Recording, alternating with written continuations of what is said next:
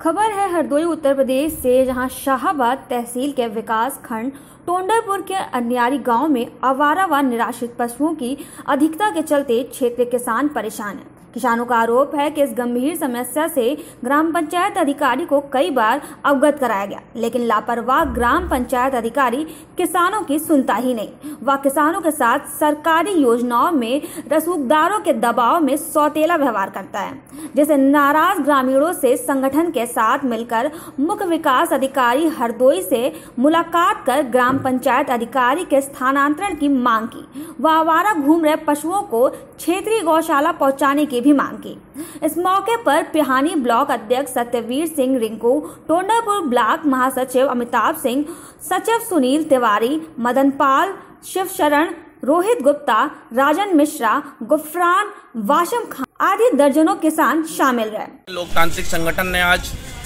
Tondarpur block के अयारी गाँव से तमाम समस्याओं को लेकर मुख्य विकास अधिकारी हरदोई को अवगत कराया है, जिसमें निराश्रित पशुओं शौचालय आवास जैसी तमाम समस्याओं को लेकर अवगत कराया गया है। व ग्राम विकास अधिक, अधिकारी के स्थानांतरण की मांग उठाई गई है।